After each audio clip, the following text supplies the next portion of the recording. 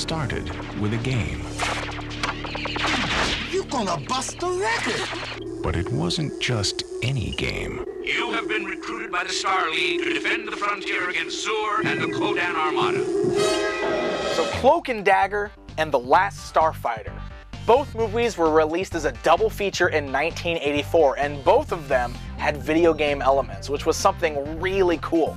The Last Starfighter was actually directed by Nick Castle. That's right. Michael Myers from Halloween directed The Last Starfighter. I remember The Last Starfighter better as a kid than I remember Star Wars. Because I didn't see Star Wars for years, but my parents had Showtime on their cable for some reason, and they used to show The Last Starfighter all the time.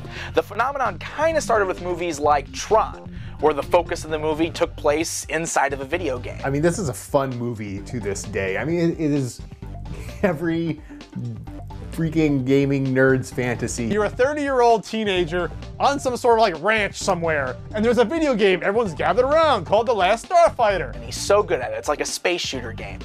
And it turns out that this arcade game was like a testing ground to find this savior who could go and save this planet that's in the middle of this real war in space. These aliens come down and recruit him to be a starfighter. CGI was actually pretty good. Uh, well, no, it was really good for the day.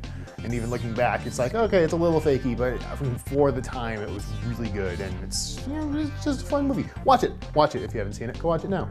It was Star Wars like in the fact that you had sort of this, you know, unassuming young man who lived in rural circumstances. He lived in a trailer park. It's really a great movie. The orchestration, uh, the, you know, the, the main theme, which you're going to hear about 20 times during the, the movie, it's fine. You don't really get sick of it because it's freaking awesome. Now, at the end of the credits of The Last Starfighter, they actually promised a real Last Starfighter video game would be coming soon.